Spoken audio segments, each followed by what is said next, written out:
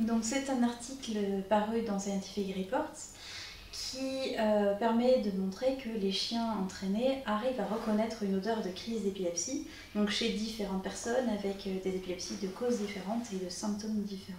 Le chien va arriver dans une pièce dans laquelle il y a sept pots. Dans chaque pot, il y a une odeur euh, de la même personne.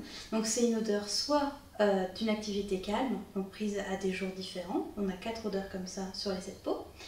Soit une odeur de sport, donc pour deux pots différents soit une odeur d'épilepsie, donc de crise d'épilepsie. Et le chien devait arriver à euh, explorer les différents pots et à marquer le bon pot, à savoir celui comprenant euh, une crise d'épilepsie, un coton avec l'échantillon de crise dessus.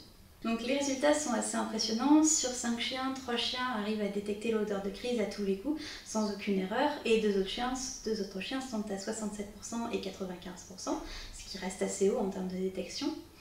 Et ce qui signifie que globalement, les chiens sont capables, avec un entraînement adéquat, de discriminer une odeur de crise d'épilepsie par rapport à d'autres odeurs de la même personne, et ce, chez différentes personnes.